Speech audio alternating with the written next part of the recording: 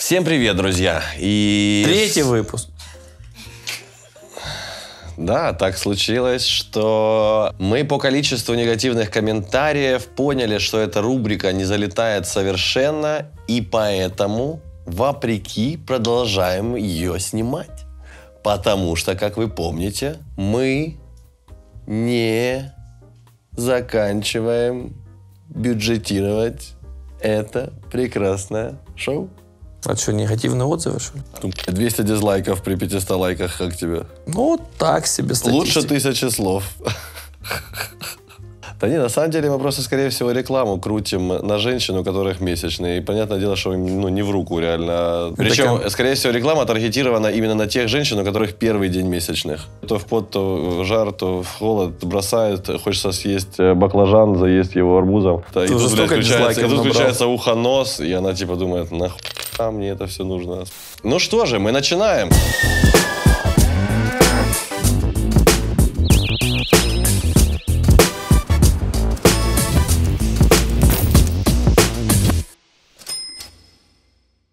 Глебушка, а что у тебя там по новостному фону? Coinbase лег. Gemini лег. Kraken лег.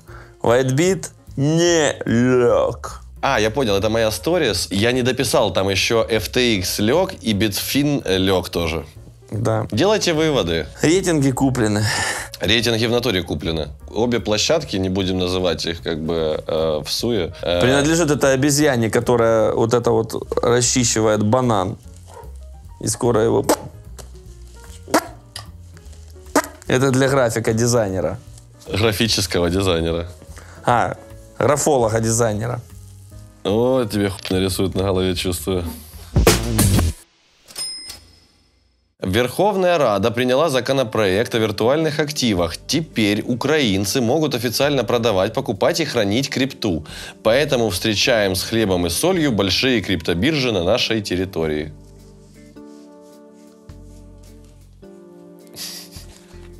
Кто встречает?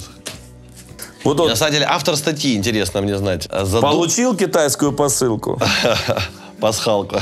Я уверен на 110%, что для хайпа э, на фоне вот этой всей истории, после того, как появится налоговая база, налоговый фундамент э, под этот закон и появятся подзаконные акты, позволяющие регулировать эту всю историю, к нам по-любому ломанутся э, всякие ребята, не будем называть их имена, Binance, например, э, э, вот. Например. И, соответственно, конечно же, будут здесь регистрироваться и получать лицензии. Я уверен на 110%. Всем этим компаниям дадут у нас лицензию. Скорее всего, для этих компаний это будет первая лицензия, потому что, например, тот же Binance, как бы, как оказалось, не имеет нигде лицензии. Ни в Гонконге, ни на Мальте. А тут он получит первую лицензию не задорого в личный. Не, не будем, не будем наговаривать. Они получат, может быть, лицензию для того, чтобы хайпануть, потому что же никто не разбирается, что это как бы, как бы, ну, такой, типа, немножечко скамовый такой проектик. И, конечно же, они получат лицензию, и как бы и министерство какое-то на этом хайпанет и скажет, вот, смотрите, к нам пришли китайские инвесторы. Что это будут за компании? И Точнее, не факт, что китайский. как они, будут, как они будут регистрироваться у нас в стране? Как это будет регулироваться и проверяться, тоже непонятно. Так как мы говорим как бы все-таки о нашей родной любимой стране, то я предполагаю, что, скорее всего, это будет какая-то компания. Например, с Китая. Нет, это будет какая-то местная компания. Они должны будут зарегистрировать здесь представительство. А у них же ж есть офис. уже какие-то там. Да, но ты понимаешь, в чем суть? А, Скорее всего, у этого представительства будет какой-то фунт А уже ж есть какой-то. Ты понимаешь? Terms of use и Terms of service на бирже будет написано, что э, Мы- эта площадка Да, мы не несем ответственности. но не несем ответственности, это полбеды. Просто я очень слышал э, много информации о том, что вот теперь можно будет там подать в суд там и так далее и тому подобное. Я, ребяточки, вам скажу так. Если в Украине будет зарегистрирована компания Binance и собственником или соучредителем этой компании будет ЧЗ, я заберу все свои слова до последнего назад, извинюсь и скажу, ребята, таки да. Они... Они по-честному как бы... Только именно тот ЧЗ. Это, знаешь, на выборах как бы А. появляются 3-4 одинаковых фамилии. Юлия Владимировна Тимошенко. Например, как вариант. Но этого мы с вами как бы, ребяточки, не молодые, немножечко прозорливые. Мы можем посмотреть в будущее на пару шажков хотя бы вперед. Кто-то из нас даже в шашки играет профессионально. И, соответственно, понимать, что как бы э, так не будет. Будет какой-то э, чувачок, э, ноунеймчик какой-то непонятный, местный, локальный, украинский. Евгений Вот. Николаевич Штольц какой-нибудь. А в рамках обслуживания этих клиентов, э, украинских клиентов, биржа добавит эту юрисдикцию в Terms of Use, Terms of Service, Privacy Policy и так далее. Они напишут, что да, у нас из Украины обслуживается 8,5 клиентов, они купили криптовалюты на 257 гривен, вот ваши долгожданные налоги отраслевые, сколько там, 5 или 10 процентов от этой всей истории. Будьте добры, 54 гривны получите, распишитесь. И вот этот вот прекраснейший молодой человек, наш украинский местный, э, грудью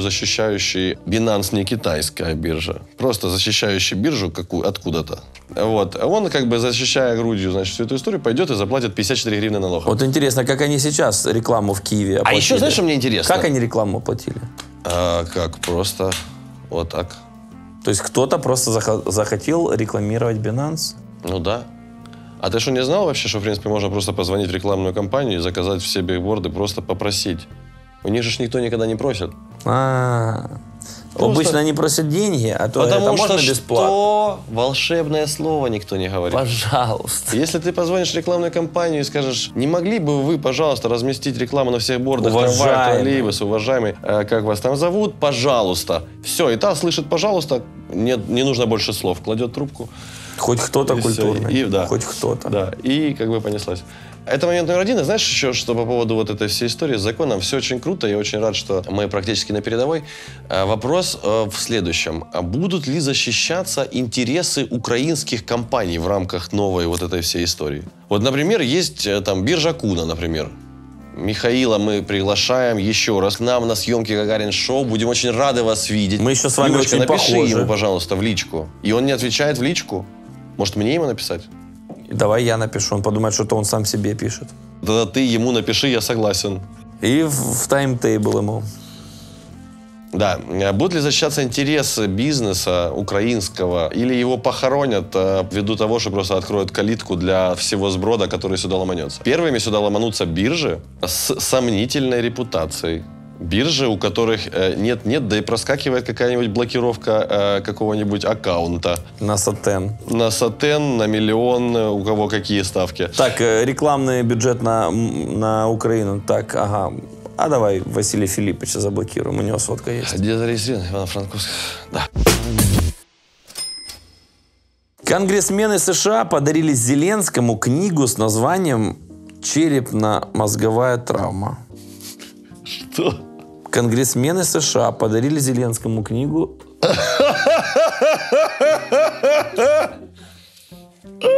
Легка черепно-мозговая травма. Это бред какой-то. Отвечает, а кто-то разыграл. И Зеленскому, понял, написал 1-0. В личку, понял? 1-0. Он, блядь.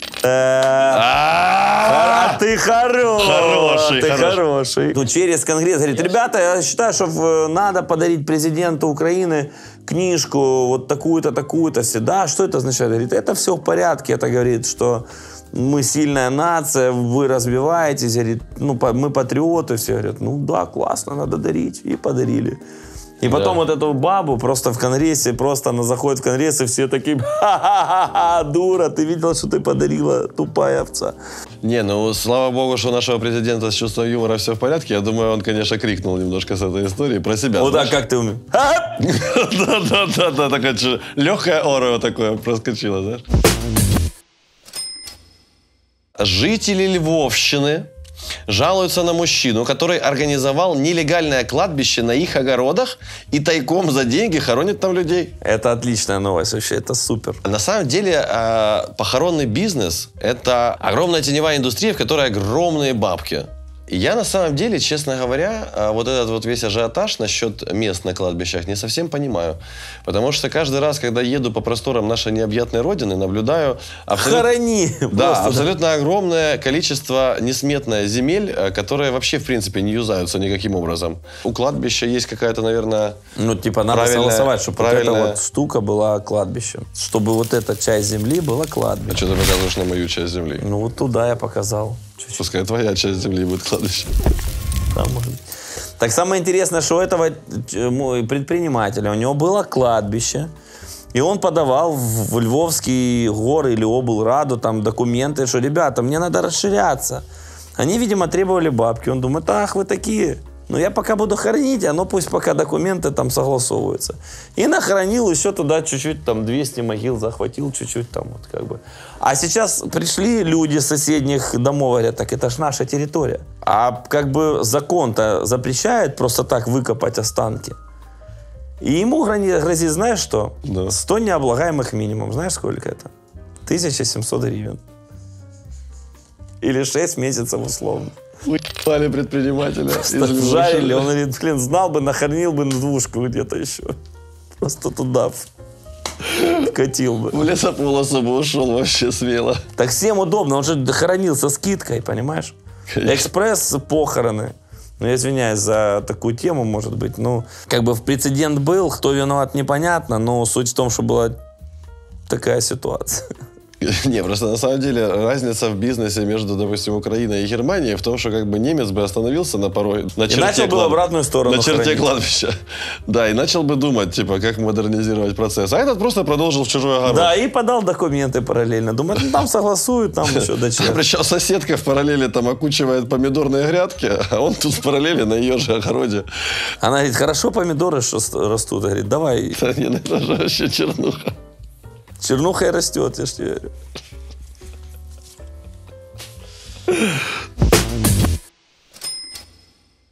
Мэр Франковска пообещал выплатить 100 тысяч гривен первой женщине, которая забеременеет после ковид-вакцинации. Милые бронятся, только тешатся. У него с подругой, с его, скорее всего, они планируют бейбика, а вот, она сделала вакцинацию, и он хочет протестить просто на Ивано-Франковском жителе за 100 косарей гривен. Не, говорит, да, Ну, то есть, типа, кинуть трешку, просто потестить вообще на людях, посмотреть, как оно вообще. Вот. Потом он предложит, типа, это, эта игра, понял, квест цел- целый. А, Потом, это первый типа, уровень. Да, да, это первый уровень. Потом еще будет сатен, типа, за первый год кормления грудью. Не за роды еще. Еще. За роды, полтинник. За кормление грудью, сотка. Потом за первый IQ-тест в 5 лет еще сотка. То есть это, короче, он, э, он э, геймер, получается. Он, получается, айтишник. Какая-то не та стезя пошла. А не, просто чувак из Pfizer сидит такой, думает, на ком же потестить? У меня есть Кент из Ивано-Франковска. Да, мы 20 Алло, братик, слышишь? Ну, а так, чтобы вот на верочку, чтобы вот, ну, такую какую-то хуйню исполнили, вот именно жестко. Ну, например, смотри, например, есть рекомендация не рожать уколовшимся. Вот ск- сколько, ты думаешь, можно предложить у вас там ребятам, чтобы укололась женщина и родила после прививки? Сколько? Три тысячи долларов? Да не, не. Три три триста? Нет. Он говорит, 50 тысяч долларов. Тот говорит, 50 подходит. И назначает награду в трешку. Хороший Берет би- аванс Ну. за 10 уколов. Ну, все, бизнес. 500. И вроде и коррупция, а вроде и нет. Новый 223 Майбах отправляется в Ивано-Франковскую область. Я абсолютно точно за вакцинацию. То есть вакцинироваться нужно. Вопрос, когда Чем? и чем. Да. Смотрите, то есть получается, я представляю себе, как бы я не медик, я вот смотрю на нашу, э, ну, на, на нашу, я подразумеваю мировую, как бы, да, вот эту медицинскую, значит, промышленность. И понимаю, что у нас есть достаточно большое количество бед, всяких разных, так- таких как рак всевозможных формаций, Да. таких как ВИЧ и так далее и тому подобное. И вот прикиньте, мы с этими штуками живем уже по тучу лет. Ну, по крайней мере, да, там про тот же ВИЧ активно говорим 30 лет, да, там или 40 Да. уже. И лекарства от них нет. В 2020 году появляется ни с того ни с сего какой-то ультра страшнючий убивающий вирус. И пацаны за полгода разрабатывают вакцину. Во всех странах. Во всех странах все сразу резко разработали вакцину. Я за то, чтобы вакцинироваться, но лично я считаю, что вакцинироваться нужно тогда, когда мы поймем все последствия. Когда родятся какие-нибудь дети у женщин с вакциной, потому что это Pfizer предварительно застраховался, как бы и сказал, что лучше не колоть. Они почему сказали лучше не колоть э, тем, кто еще не рожал? Потому что если случится выкидыш у тех, кто уже рожал, То пипец. то как бы им не так обидно будет, потому что у них уже есть как бы живые рожденные дети. А у тех, у кого это первенец, как бы, ну это вообще трагедия как бы получается такая не очень. И, соответственно, они так немножечко тылы прикрыли. Тут же все логично, как бы ничего не надо выдумывать. Вот. И фишка заключается в том, что э, надо обязательно колоться, надо обязательно вакцинироваться, надо, потому что это безопасность людей вокруг и так далее. Но Ну, условно, как от чумы, от столбняка. То есть то, да, что да, да, да, там- да, да. Но я считаю, я придерживаюсь такой точки зрения, что надо настояться этой всей истории немножечко. Поехали дальше. Э, Микроавтобусы УАЗ 2022 года получат освещение салона. Эта опция ранее предполагалась только на экспортных модификациях автомобиля, но фактически никогда не применялась. Через несколько месяцев все изменится. Завод объявил о введении трех ламп освещения салона. Та-да-да-да, та-да! Это не, не вранье, я не буду говорить, что это пи***ш, но... Это рестайлинговая модель УАЗа. Предзаказы на трехламповую значит, версию УАЗа можно уже сейчас размещать в автосалонах УАЗ. Вот, где А ты, ты- а ты знаешь, где что тебя сам- с улыбкой встретит роскошная девочка-менеджер. А ты знаешь, что самое... Проведет тебя к sales, э, значит, в sales отдел, department, там в sales departments там э, тебя встретят менеджеры. Э, Вы сможете обсудить двухцветную покраску кузова. Эта опция, кстати, доступна только на УАЗе и на Майбахе в 223 Випе. году.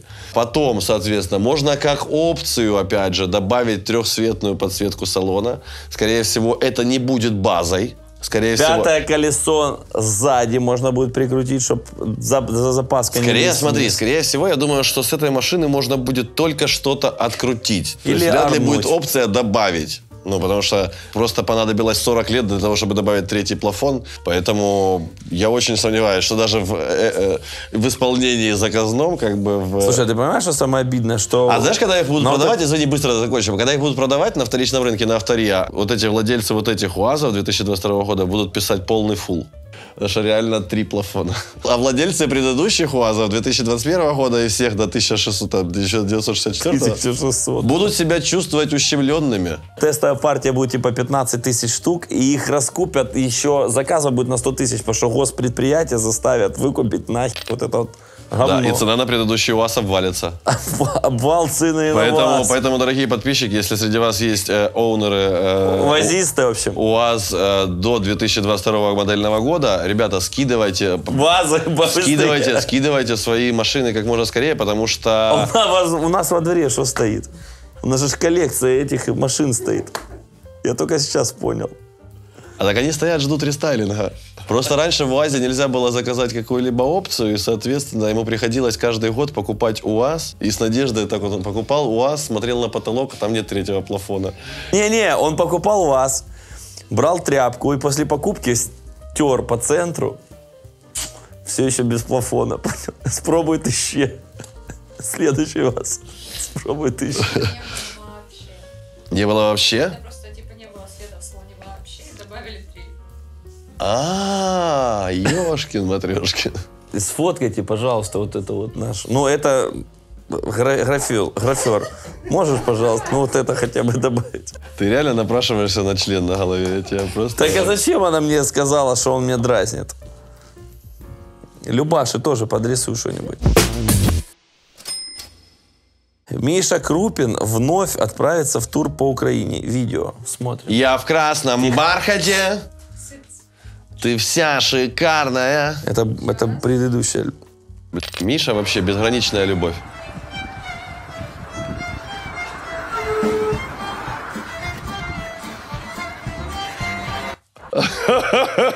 Еду на гастроль. Не, Мишаня, Мишаня лучший вообще просто. Миша просто... from heart. Ребята, э, вы на самом деле, э, я понимаю, что вы смотрите на крысу и так далее, но вы же, наверное, догадались, что наша заставка написана вот прекраснейшим, э, прекраснейшим человеком Мишей Крупиным. Крипту сюда, крипту Он просто отсюда. мастер спорта по вот этой вирусной какой-то вот этой ме- мелодии, какой-то у него ультраталант. Я не знаю, как он это делает. Миша красавчик. Через 20 лет в Украине может не быть зимы. Причиной тому в гидрометцентре называют глобальное потепление, которое с каждым годом ощущается все больше. А я, думал, Самое что, главное, а я что- думал, что продадут. Самое главное, самое главное, что э, вывод о потеплении наш гидрометцентр строит на ощущениях. То есть нет каких-то данных, метрик и оборудования, которое четко показывает потепление. Причиной тому в гидрометцентре называют глобальное потепление, которое с каждым годом ощущается все больше. Это мне шутка нравилась в школе, когда директор гидромедцентра не знает, когда пойти в отпуск, потому что боится прогадать с погодой. Так и ежедневный прогноз погоды они тоже дают по ощущениям, если ты не в курсе. Или вот эта старая шутка, знаешь, как э, проверить, есть ли ну, снег на улице или нет? Выкидываешь кресло в окно, если на него падает снег, значит идет снег. Приблизительно так.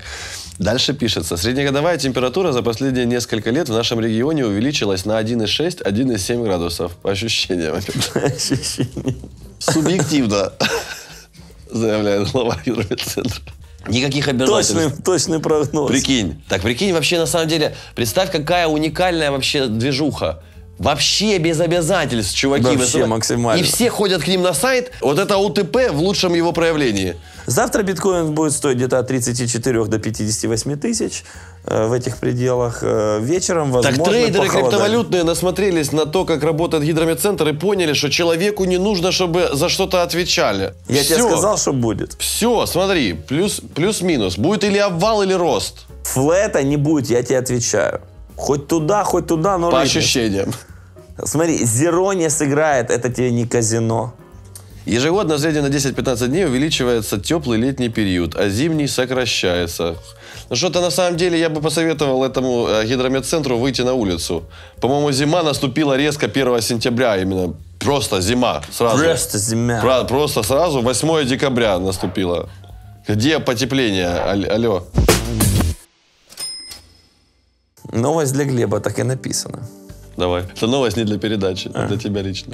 В прошлом выпуске э, Владимир Владимирович Носов при прочтении новостей был впечатлен украинской школьницей, которая была удостоена звания гения и пообещал подарить ей лэптоп. Он сдержал свое слово, и Виктория Панченко получила обещанный ноутбук. Є таке шоу Гагарін шоу. І ось е, ведучий, керівник цього шоу Носо Володимир Володимирович до цього свята зробив приємний подарунок. Здравствуйте, спасибо большое за такой неожиданный подарок. Очень приятно, что вы обратили на меня внимание. Этот ноутбук поможет мне сейчас и в учебе, и в развитии проекта. Спасибо огромное. Ой, ты умничка. Слушай, ну это вообще... Класс. Любочка, мне надо это срочно в э, Телеграм. Вот э, я люблю такой патриотизм. Когда Это мы, круто. Когда мы Это прям- поддерживаем, когда мы поддерживаем наши светлые головушки, когда мы не трепимся, а делаем. Вот это, ребята, вот это, ребята, патриотизм. Теперь у девчонки прекрасный MacBook Pro, и она будет решать какие-то сложные э, задачки и Слушай, это очень развиваться. круто вообще.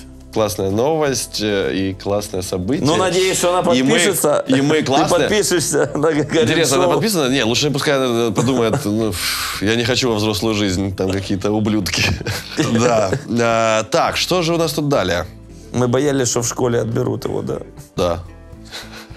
Но ты видишь, получается и директор школы, и все Адекват. адекватные ребята.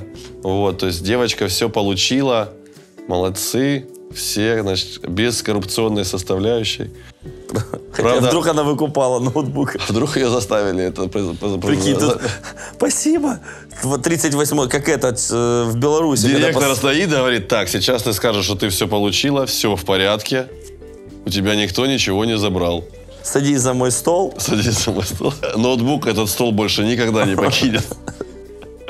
Ну реально, я хочу видео пруфшить ноутбук дома. Можно видео из дома. И что родители не в заложниках, и под карательной двойкой. Видео дома, двое родителей, паспорта на руках. Кабмин решил повысить стипендии студентам. Для студентов университетов их повысят в полтора раза, а для учеников учреждений профтехобразования в два с половиной раза. Последнее повышение выплат было в далеком 2007 году. Так что пора. Смотри.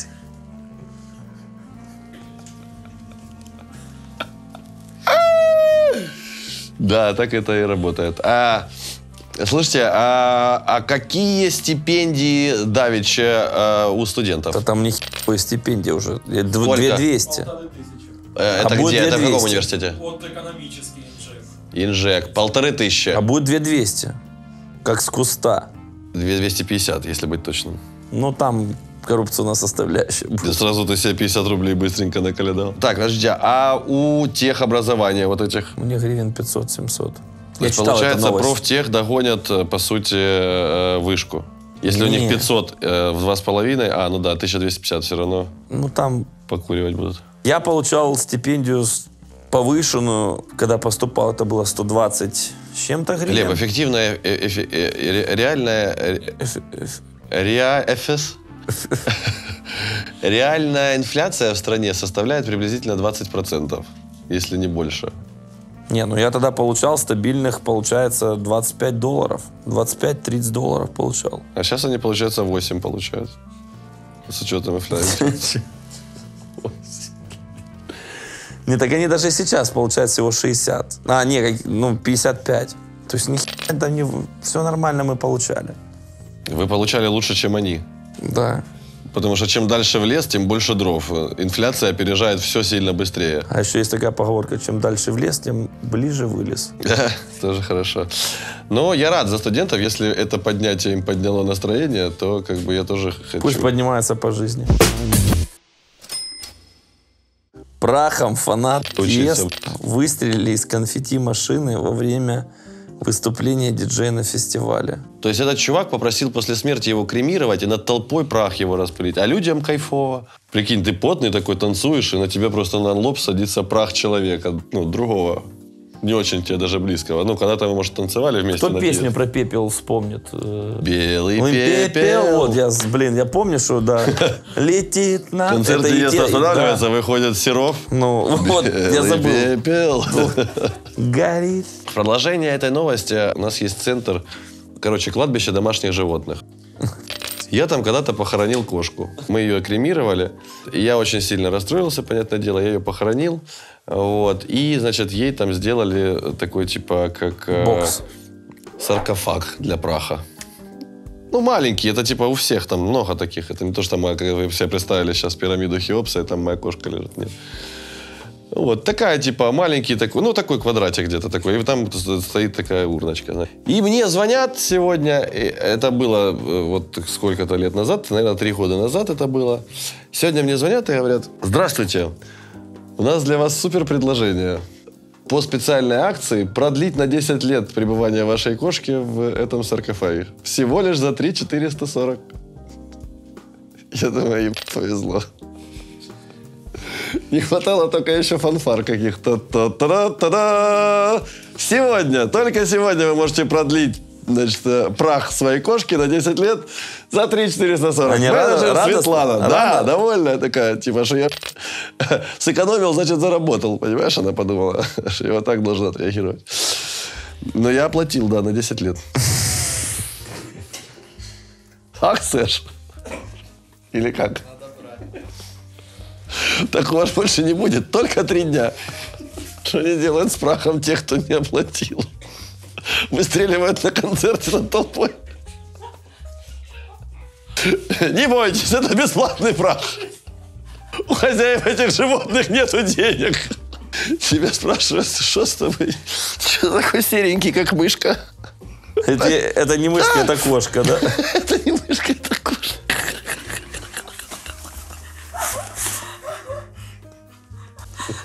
Почему у нас сегодня такие злые шутки? Новости с того света, да? Давай, Глебчик, твоя новость. Я уже боюсь дальше. В Шотландии вводят четырехдневную рабочую неделю. Жители страны получат дополнительный выходной, но зарплата останется прежней.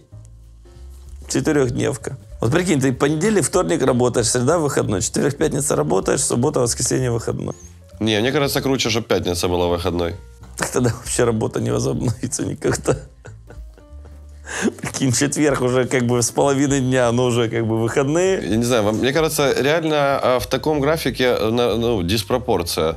Понедельник, вторник рабочий, среда, середина недели, то есть она делит пятидневку как бы на два блока. Четверг, маленькая пятница и пятница. Понедельник А маленький. если четыре рабочих дня, то что получается? Уже получается вторник, маленькая пятница. Ну да, и, и, и Получается, вообще они вводят однодневную рабочую неделю. понедельник, А платить будут как и раньше. понедельник, дай бог, чтоб вышли.